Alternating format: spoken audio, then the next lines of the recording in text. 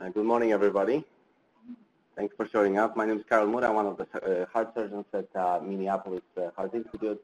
I would like to thank the foundation for allowing me sharing uh, some of our uh, experience with you today. I will talk about some of the complex aortic cases, surgeries we did recently, and I will focus specifically on treatment of acute type A aortic dissections.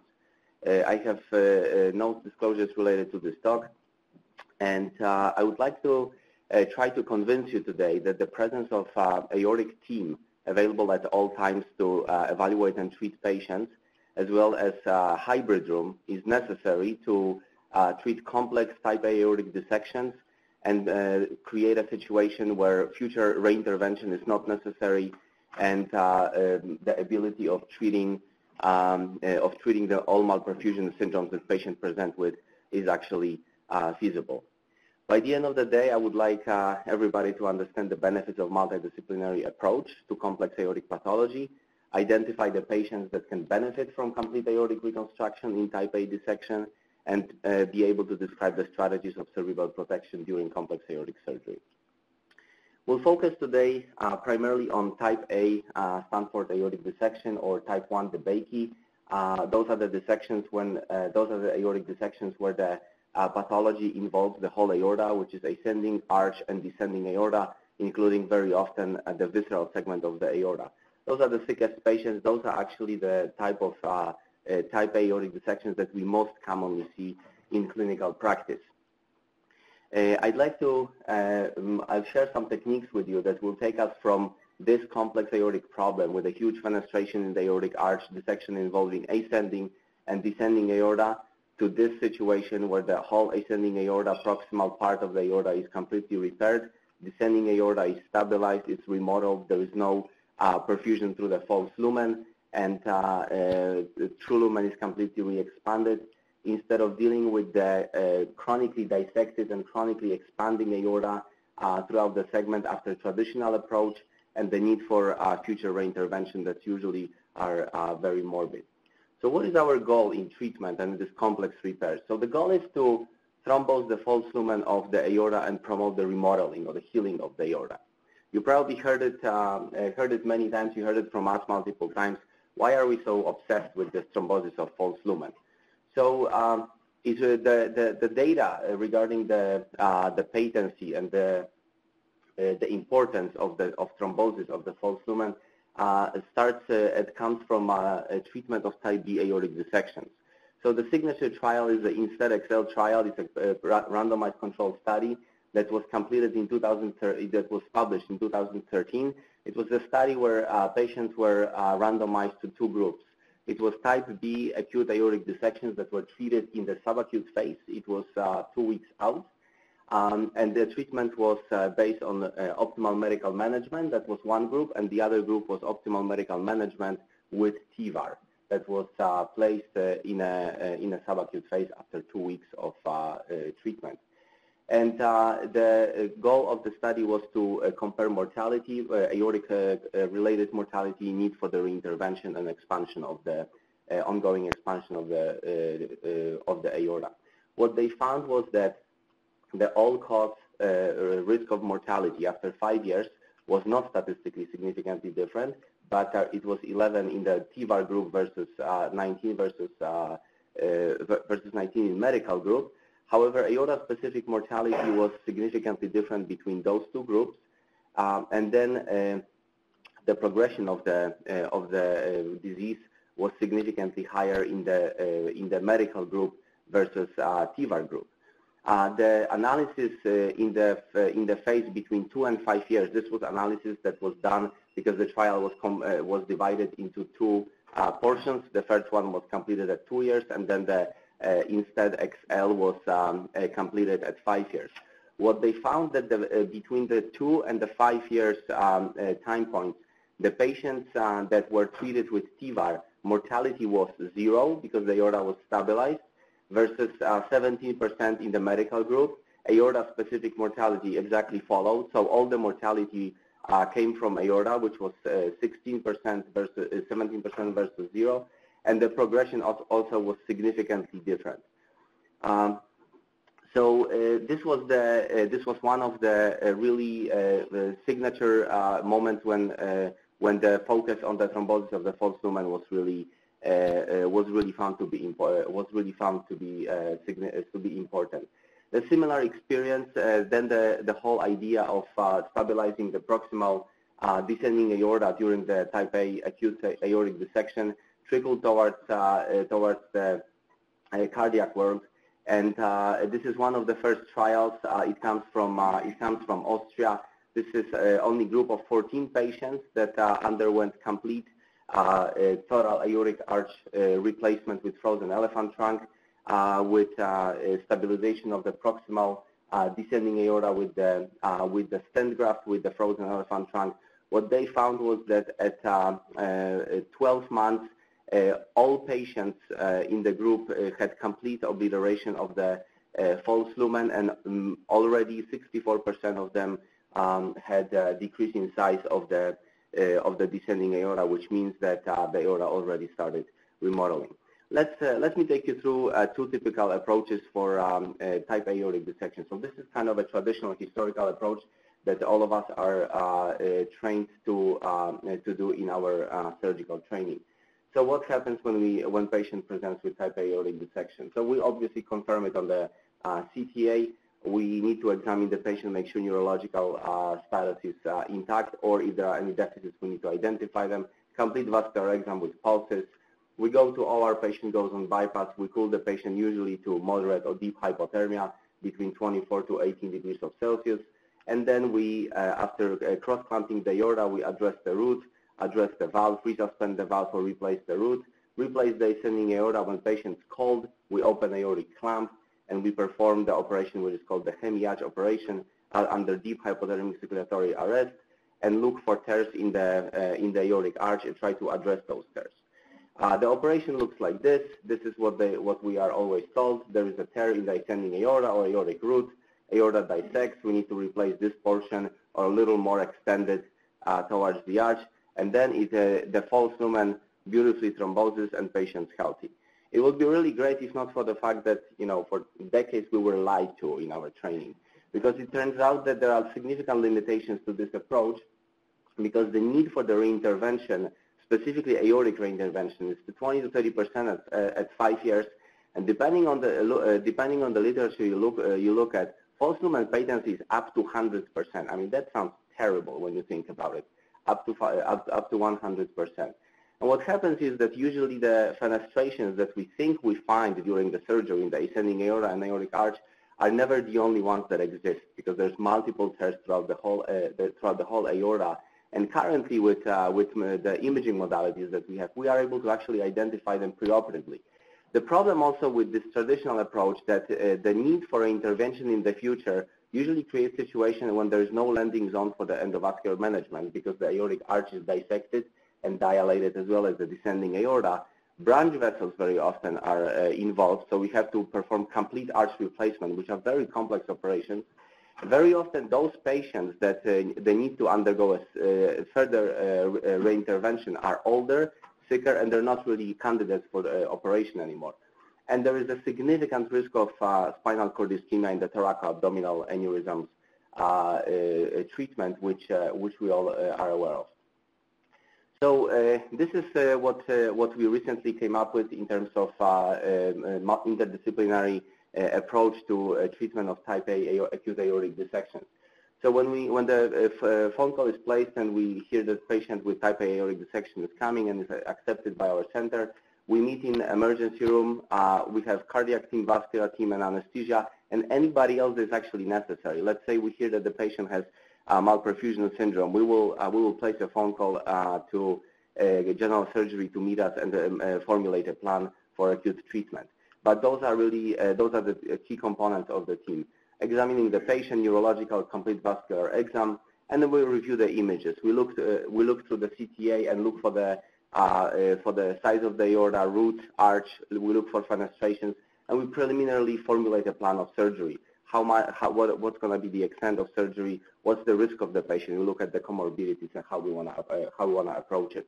We go to a hybrid room every single time. uh, patient, we discussed uh, we discuss the strategy for cardiopulmonary bypass, hypothermia, cerebral and spinal protection strategies, and the cannulation strategies as well as what we're gonna how we're gonna uh, approach intravas intravascular ultrasound and whether there's a need for immediate imaging, especially in patients with malperfusion syndromes. Because of our interdisciplinary approach, this is what we achieve. We can address malperfusion simultaneously with a proximal repair, and this way we can maximize elimination of tears in arch and proximal ascending aorta. We work from two ends of the patient, basically. Vascular uh, surgery starts, uh, uh, starts the approach from the groins. We start from the uh, cannulating, uh, cannulating in the, um, uh, on top in the chest. The arch vessel, uh, the arch vessels are repaired first. Uh, it gives us shorter cerebral and spinal ischemia and eliminates majority of the dissection flap, flaps from the head vessels. In cases of um, in cases of a uh, of a need for future uh, reintervention, we create a situation that majority of problems can be actually addressed endovascularly without a need for uh, reoperate uh, complex open procedure. And this is what we really aim for in um, um, any patient that is eligible for this surgery. So debranching of the head vessels, uh, uh, ascending aorta is replaced, root is repaired or replaced, and the frozen elephant trunk is sewn to the ascending graft. Head vessels are oversewn. Everything's fixed. If there is a need for reintervention, it can be accessed from the bottom uh, uh, with, the, uh, uh, with the endovascular techniques. the main difference between what we do and what, what our colleagues present here is that our frozen elephant trunks are Uh, shorter, and the reason we do it is um, uh, the reason we do it is that minimize the risk of uh, spinal cord ischemia. We also uh, uh, avoid doing a traditional frozen elephant trunk operation, which where the head vessels are in anatomical position. This way, we avoid an avoid area of the recurrent laryngeal nerve, and we don't need to operate in the in the field where we can potentially injure it. And again, the frozen elephant trunk is shorter and we risk the spinal ischemia uh, less. Uh, majority of our patients get cannulated uh, via axillary approach. This is a graft sewn to the axillary aorta. This is done simultaneously with uh, a vascular team approaching uh, one of the groin vessels, either right or left, depending on what we find on the CAT scan and which leg is fed uh, through the false or true lumen. They approach the aorta with the intravascular ultrasound. That allows us to identify the true lumen, the false lumen, this is what it looks like in reality. It also helps us to identify uh, the visceral vessels intraoperatively and uh, uh, evaluate any dynamic versus uh, static obstructions. So we can see the vessel, uh, the vessel rising from the aorta in the visceral segment. The probe is right here. This is the flap of the uh, of the dissection, and very often patients present with malperfusion after inserting the intravascular ultrasound and, and passing the wire uh, the vessel opens because of the dynamic obstruction that is alleviated uh, during the uh, uh IVUS performance. If, it, if, the obstruction is um, uh, static and there is a flap intussuscepted into the one of the branch vessels or there is a tear, uh, this potentially this branch has to be immediately open with the wire or potentially stented later or initially to, so, to resolve the malperfusion syndrome that, as we know, are very lethal. Uh, how we, uh, the, the, way we protect the brain, with our uh, strategy is uh, selective, then uh, immediately followed by bilateral antegrade cerebral perfusion. We use the uh, antegrade cerebral perfusion technique with the flow about one liter per minute, which is about one milliliter, milliliter per kg per minute. We go to deep hypothermia, 18 degrees of Celsius. It gives us a huge margin of safety for the spinal cord and uh, cerebral uh, uh, cerebral oxygenation, and every patient has bilateral near-infrared spectrophotometry monitoring probes on their for, foreheads for, so we can identify any at any point when there is hypoxemia of the brain on either side. So how does it work? So we cannulate the right axillary artery. This is aortic arch. We occlude the innominate artery. We occlude the left carotid artery, and we occlude left uh, uh, subclavian artery that has to be obviously completely mobilized. The moment when patient, we are ready to open the aorta, we, the flow on the cardiopulmonary bypass goes from 4 liters, which is kind of the average, to 1 liter, and then basically bypass supplies upper body and the head. Um, at, at, the same time, because of the branches of the vertebral artery, posterior spinal artery and anterior spinal artery supply the uh, top portion of the uh, spinal cord. On top of, uh, in combination with deep hypothermia, the safety margin for the spinal cord is huge.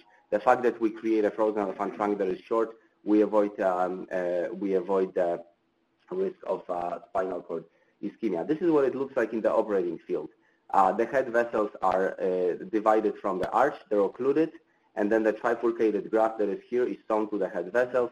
There is a wire sticking out from the, uh, from the aorta that is delivered from the bottom by the vascular team. When the uh, graft is completely anastomosed, the clamp goes here, and then the upper, upper body is completely perfused via our partial cardiopulmonary bypass. And at that time, we uh, uh, deploy the frozen elephant trunk in antegrade fashion over the wire so we know that we deploy it into a true lumen, that we don't cross any fenestrations and don't create uh, potential malperfusion uh, by our actions. Then we, uh, when we're ready to do ascending aorta, we oversaw head vessels. Uh, the frozen trunk is already deployed and we saw the ascending graft together with some reinforcement, usually with felt.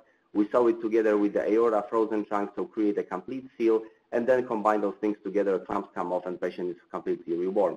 So we have a complete uh, repair of the head vessels, arch, uh, proximal descending aorta, ascending aorta root. So basically the whole aorta on the, in the proximal aspect is fixed. And that's really the, um, this is really what we, uh, what we aim for. So let's look at some of the patients that we recently did. So this is a patient, a 43-year-old male, type 1 dissection.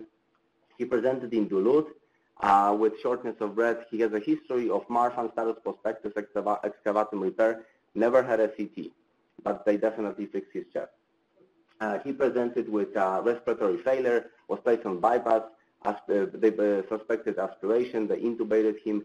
Turns out that on the echo patient has severely dilated LV with the uh, EF of 20 to 25% and severe, probably chronic AI. They also saw the flap.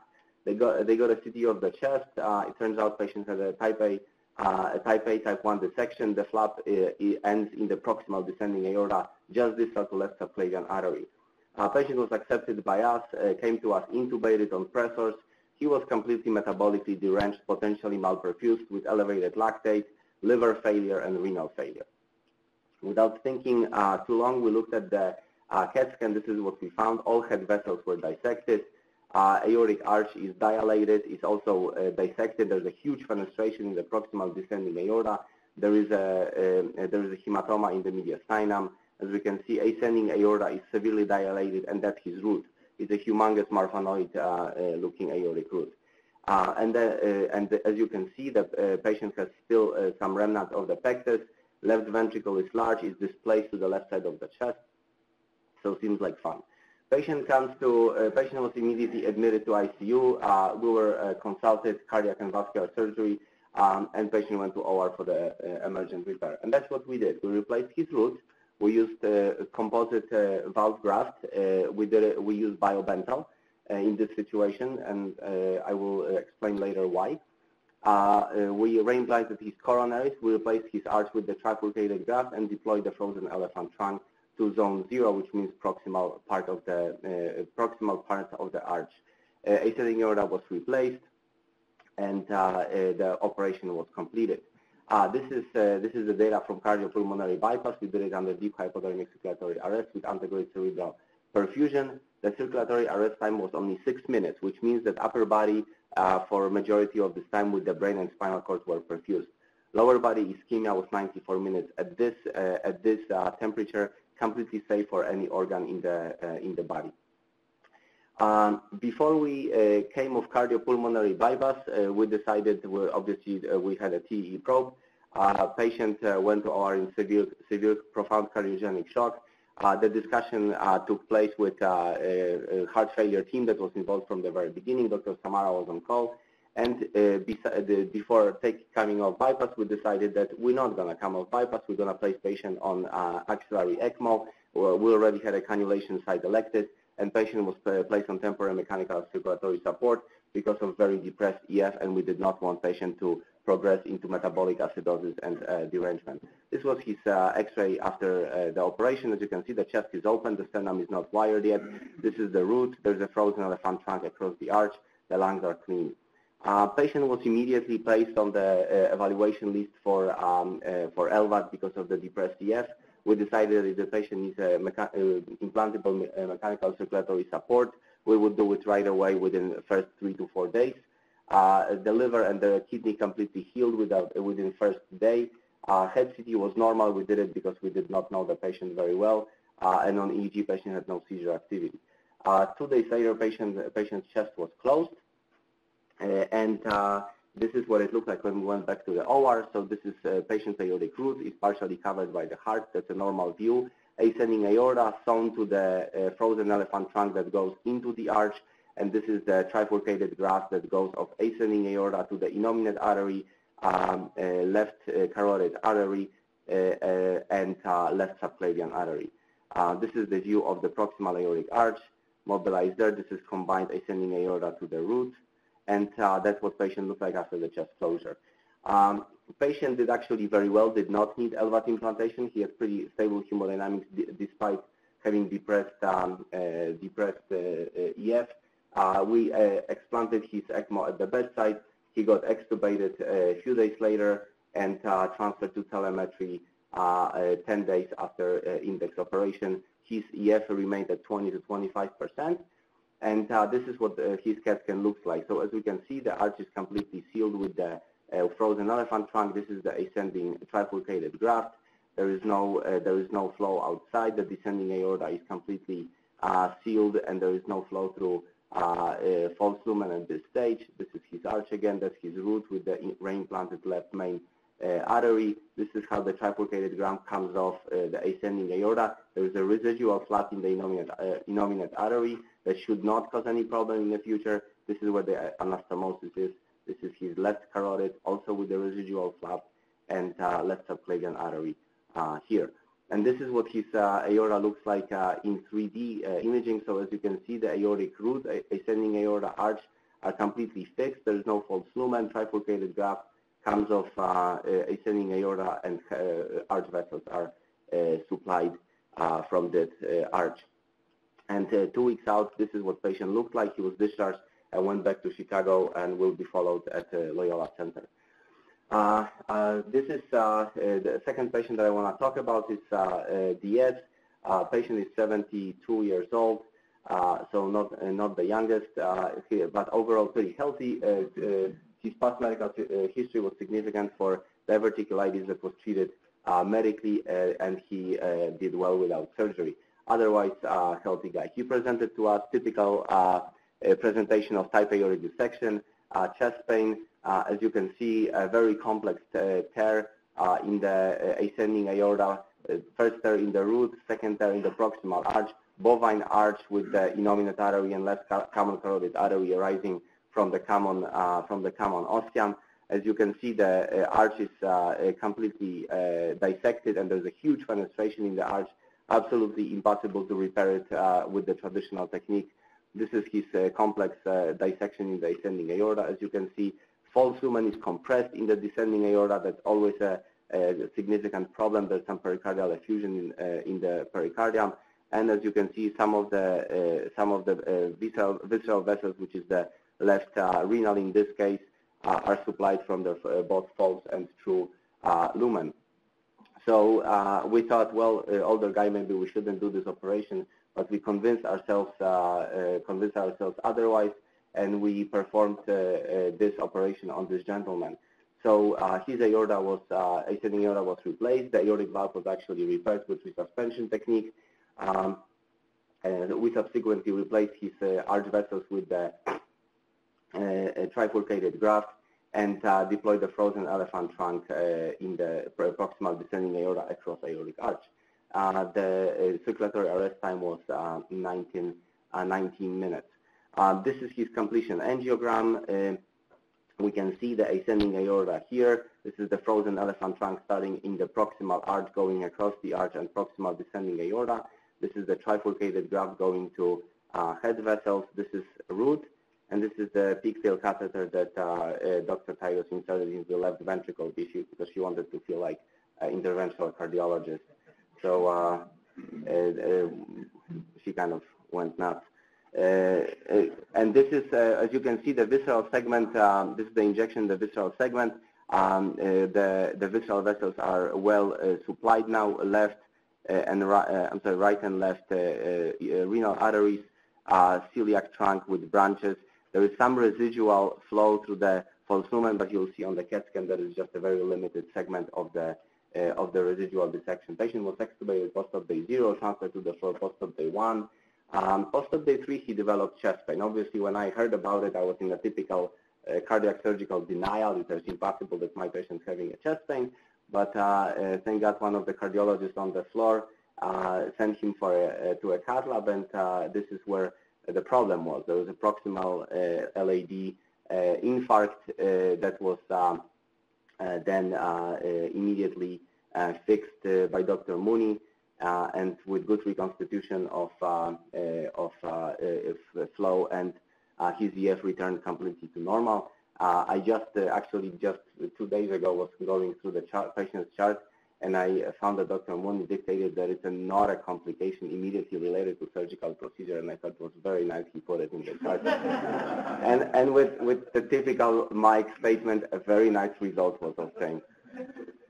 So uh, post-operative course was, uh, I would want to say uneventful, but it wasn't uneventful because patient developed, was doing quite well on the floor, just rehabbing 70-year-old guy. And post-op four, uh, post 14, he developed abdominal pain. Turns out uh, he had a, a he, the white count was elevated. We, we got a CAT scan, and uh, he had a perforation of his uh, uh diverticulosis affected uh, uh, sigmoid colon, and he underwent Hartmann procedure with end colostomy and was discharged 10 days later um, without any septic complications. he will return in the in the spring for the reversal of his colostomy to reconstitute the um, the continuity of his of his gut. And that's what he looked like in the clinical visit when he came back to see us. So overall, he's rehabbing. He still has a little peripheral edema, normal EF, normal biventricular function, and uh, uh, that's what his CT looks like. So that's what that's his ascending aorta. This is the trifurcated graft takeoff. This is descending aorta. As you can see, there is no residual false lumen, uh, completely uh, sealed frozen elephant trunk. That's the arch without any uh, uh, fall, flow through the false lumen. There is a residual flap uh, in the uh, distal thoracic aorta. Um, that's again arch, that's innominate artery, common carotid. This is left subclavian. Again arch. This is the trifurcated graft taking off. That's a turn between the ascending and the frozen elephant trunk. And you can see uh, uh, his uh, dissection and there. So he has a short dissected segment in a visceral portion of the aorta. This will be obviously followed with, with CAT scans and if there is a need, he can underwent limited procedure in this portion without doing a thoracoabdominal or arch surgery at age of 80 or 85, which is almost impossible. Um, one patient that uh, um, some of them may recognize or may know, uh, this is a patient uh, with Loeys Dietz syndrome. It's a very, as we as we know, very aggressive aortopathy. It was first described in Johns Hopkins in 2005. It's a mutation in the TGFBR1 and 2. Um, uh, what, uh, what, it, uh, what, what, what it causes clinically is um, it affects basically every single um, system in the body, but the most important uh, is that it creates a lot of arterial tortuosity and propensity to have uh, to have uh, aortic and vascular catastrophes. patients usually have those complications very early in the uh, teens and 20s, uh, if they're not followed, they uh, don't live very long. this is the um, recent review from Johns Hopkins from 2017, published in JTCVS. This is the experience with Loeys-Dietz syndrome uh, patients. They had 79 of them, which is really significant number for one institution. Uh, the first operation uh, usually was done at age 25, so as you can see, it's really early. Uh, 20 of them in this series already had a redo operation, so they had surgeries even earlier. Uh, 19 of, of those operated patients required uh, uh subsequent operations later, but overall, at 10 years, survival is 88. And this is the this is the survival that you can achieve if those patients are truly closely followed and any intervention that has to be done is done uh, in timely fashion. So we had an opportunity to treat recently one of uh, one of those uh, patients.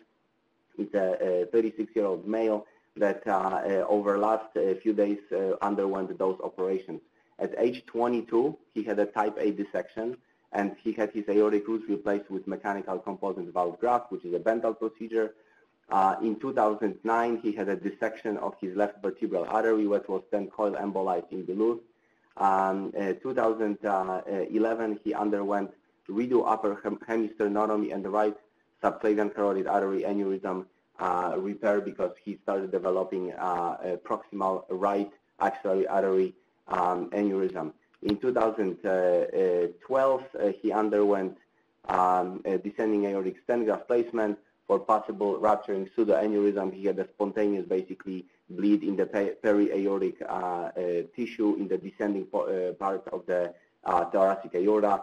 Um, and at that time, we also noticed that he, his right subclavian, right subclavian artery aneurysm continued to um, grow. In 2016, uh, he underwent verti right vertebral artery ligation.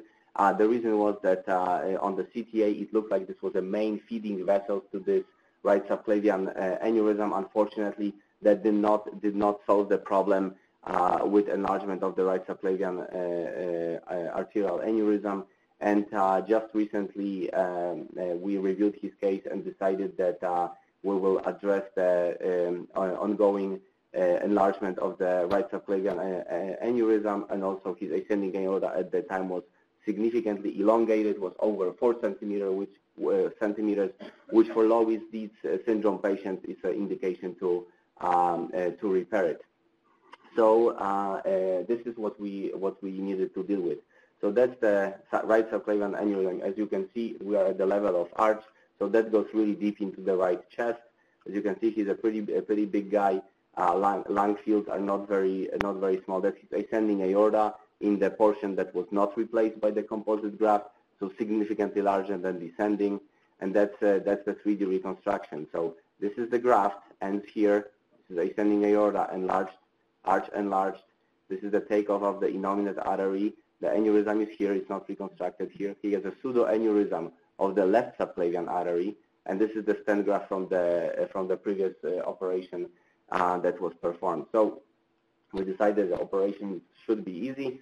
Um, and uh, uh, we went through uh, through planning of the of the procedure. So the discussion was, should we do it at at one approach or should we stage it, and how how should we stage it? How should we plan for cardiopulmonary bypass? How should we cannulate? What type of hypothermia should we use? And the biggest question is, I'm sorry, how the hell are we going to approach all the uh, all those areas at the same time? So uh, uh, we had few options, right? We could do sternotomy. That's what we know the best. But the problem is that uh, from the sternotomy, it's very hard to reach the subclavian arteries, and the angles are very difficult. Plus, this would be a third redo, so uh, probably a lot of adhesions, uh, very, uh, very difficult to reach. Uh, maybe sternotomy plus thoracotomy, but the question is how many thoracotomies we're going to do. Both sides plus sternotomy seems a little excessive. Plus, sometimes uh, navigating between two separate fields can be much more challenging than people think. Um, what about the clamshell? So clamshell is partial sternotomy with an extension to thoracotomy.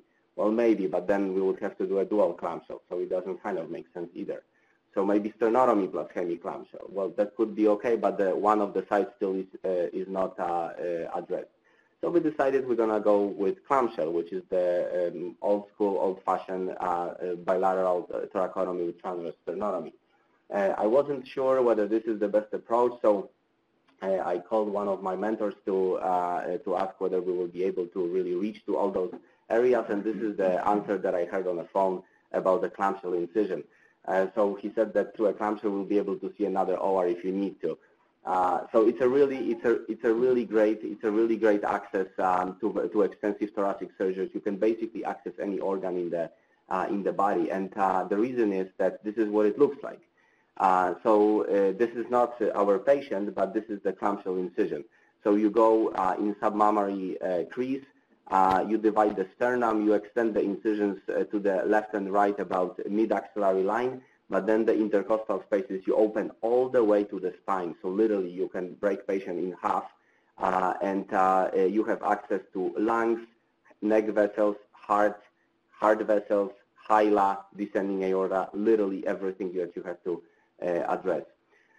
So uh, we decided to we decided to stage this procedure. First, uh, we did the left subclavian left carotid bypass, and the reason we did it is because uh, we wanted to basically uh, recreate the situ re recreate the anatomy of the right side with innominate artery dividing into the sub uh, into the subclavian and and right carotid. We wanted to recreate the similar functional anatomy on this side, and I will tell you why in a moment.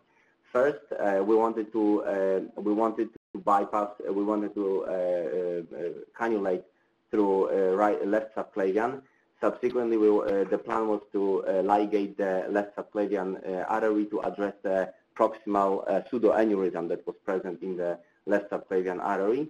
Uh, and the reason was that this was already replaced by interposition graft in 2012. And on top of that, there was this close to 10 centimeter uh, aneurysm sitting on top of that. So really this area was not available for cardiopulmonary bypass. And we needed to identify strategy to uh, protect this patient's uh, brain and patient's spine during this complex, uh, complex operation that we obviously wouldn't know how long it would take.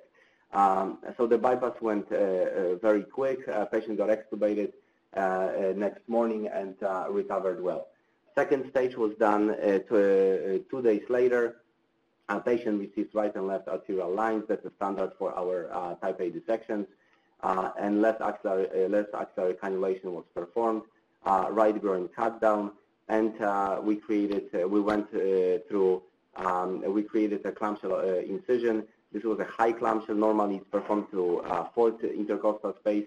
We went one space above in order to really be able to get to all the arch and, and head vessels. Um, uh, plus we did a, a typical um, thoracosternotomy. Mobilized everything. There were fair amount of adhesions around the heart and aorta and uh, uh, we completed the cannulation centrally for the venous drainage um, and um, cardioplegia uh, lines. And then circulatory arrest was, was performed. We started with the branching of the arch vessels, restored the upper body circulation, deployed the frozen elephant trunk, did the ascending aortic graft to frozen trunk anastomosis, and then we sewed all the pieces together. We took clamps off and started rewarming, and it was evening, and we started at 8 a.m. So we decided that uh, we should take a break because probably we will be uh, we won't be able to actually finish, which was we still needed to do the right subclavian aneurysm that was of the size of a small melon. Um, uh, it was basically draping all the uh, venous uh, vessels um, over over the, the, the aneurysm itself, and the right phrenic nerve was also um, involved. So we kept the, the, chest open. We packed the patient's chest. Patient was hemodynamically very stable. Biventricular function was normal. Um, and patient went to ICU for resuscitation and um, rest. Uh, 36 hours later, he uh, returned to to the OR to complete the the aneurysm and get rid of the aneurysmal sac. Uh, when, when we uh, open, reopen the patient, we uh, identified the thrombosis of the left innominate vein, uh, which uh, we thought after performing actually a thrombectomy and a bolectomy that probably the thrombus was present there before, but the operation itself and, uh, uh and uh, packing of the chest, I think completed the, the process. So we needed to, uh, to fix that. So we thrombectomized the, the left innominate vein, and reconstructed with the pericardial patch, uh, uh, reconstructing the whole area of confluence of the left, uh, right innominate vein and the SVC. And this is what anatomically it looks like. So you can see this is the right innominate vein, this is the left innominate vein. Usually this one is already behind the clavicle and the sternum superior vena cava, there's an azygos vein that uh, sneaks in into the SVC behind the heart from the right. You, you also have to control it. So you need to occlude all those branches. And without using cardiopulmonary bypass, we just made a long incision, removed the clot from this area, and patched the whole front to enlarge the size of the, uh, of the vein. And this is the patch over there. This is ascending aorta. That's a trifurcated graft. And uh, a little closer look. So that's the patch. The, the vein goes to the left side of the chest. This is the right innominate vein. The aneurysm is already resected. As you can see, this is the shiny thing is a right lung. So it already is in the, in the place of the aneurysm which was there. This is a closer look to the to our uh, to our grafts. Again, this is the bifurcated graft that went to the head vessels, uh, ascending aorta uh, patch, And this is the CAT scan that was done one or two weeks out. So this is the first operation he did. This is the root. That's our ascending aorta. trifurcated graft taking off from the ascending aorta.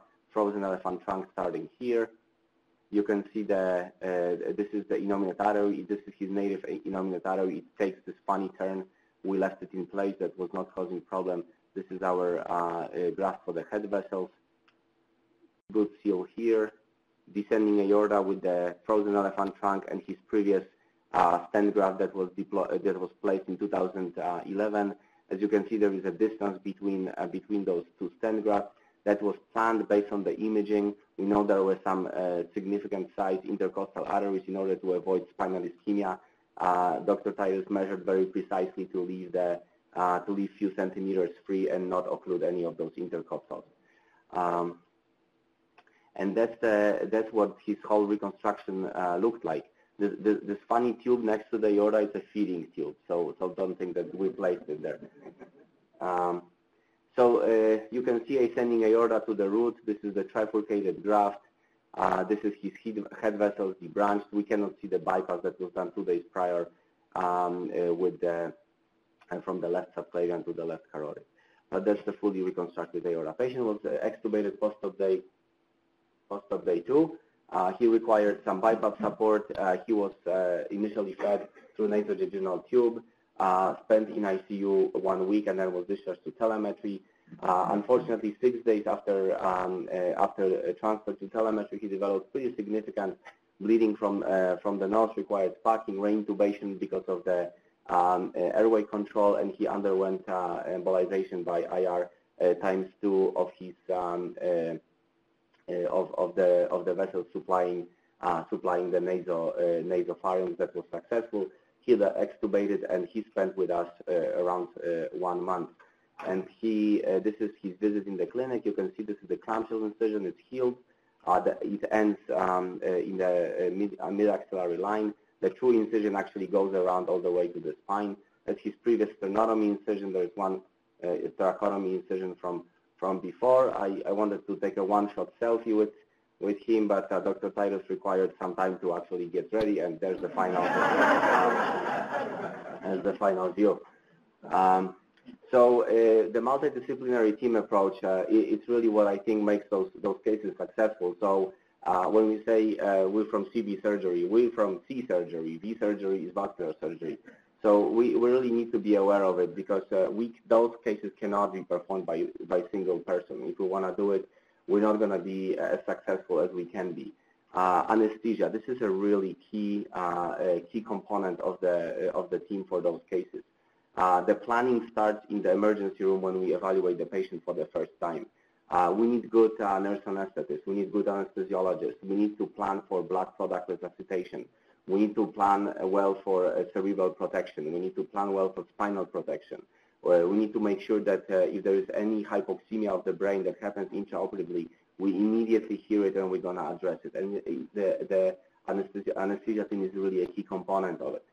Uh, we need cardiologists. We need interventional cardiologists that will fix our problems with coronaries or will check our coronaries while we are on the OR table. Dr. Gössl was invited once and uh, we had a, a depressed uh, EF uh, after uh, one of those cases and uh, I called Mario and asked to do a coronary angiogram. And while he did it, the LV recovered, and we all confirmed that coronaries were normal after root operation. Uh, so that's really important that we uh, that we have all all those components. Heart failure team. Uh, the patient that came to us with 20% 20% EF, we wouldn't be able to take him safely through it if we didn't have a temporary MCS and didn't evaluate him immediately for durable MCS as needed. The guy is uh, healthy now at home with um, uh, with depressed EF, but he's doing fine. Uh, we need general surgery to address our uh, abdominal complications. We need a good ICU team to really take care of those patients because they need hour-to-hour -hour supervision. Uh, we need neurologists to identify uh, any stroke complications that are early. We need interventional radiology to pull the clot out of the brain vessels if, if needed, and it has to be very it has to be very expeditious. So uh, to answer the question, is hybrid room a necessity? I think it is. I mean, if you, we really want to do those operations successfully, we don't want to have a delay with treating the malperfusion, with treating complications. we need to go to hybrid room every single time. Um, and uh, what are the uh, uh, what are the, the benefits really of, of those operations? So we always have to look at the patient from the very beginning. Can patient undergo this operation? So uh, usually young people are the best candidates. The tears in the arch, the ones that we can we cannot fix with traditional approach. This is the patients that really will benefit from this surgery. Any evidence of malperfusion, this is why the whole hybrid room is money because by placing patient on the OR table and doing IVUS and angiogram, we immediately address the, the malperfusion syndrome. We can support the patient with the bypass or mechanical support right away. Um, and uh, any patient with connective tissue disorder, those patients have to be very aggressively treated. We cannot leave aortic tissue behind and hope for the best in the future because the best will not happen. So looking at the case presented, we presented the patient that had low EF, came to us in profound heart failure, went on ECMO, was malperfused, and we had a 72-year-old guy, and we had a guy with multiple redo surgeries. Uh, last week we did uh, two of those. Uh, patients were both morbidly obese, one was 70-year-old, and uh, two or three months ago we did a, a patient that had von Willebrand disease and had four of his joints, shoulders, and hips replaced, and he underwent this operation. So maybe the question for me when you weigh, uh, when you weigh the risks versus benefits maybe all patients really should be undergoing this operation because it seems like we can get them through it. So in summary, multidisciplinary approach allows simultaneous treatment of primary pathology in type A aortic dissection, the proximal repair, and malperfusion complications because of we address the arch, descending aorta, and revascularization of the end organs because of the presence of the hybrid room and dual team. Cannulation strategy, hypothermia and addressing the arch vessels first, allows uninterrupted perfusion to the brain and quick restoration of blood to the upper body. So the arch first technique, trifurcated graft. Performing frozen elephant trunk across the arch instead of distal to left subclavian artery minimizes the risk of spinal cord ischemia. This is why we uh, do a debranching from the ascending aorta and not uh, anatomical uh, uh arch uh, graft.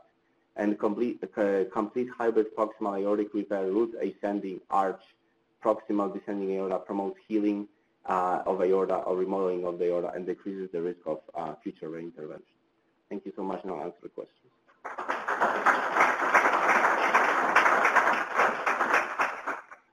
Questions?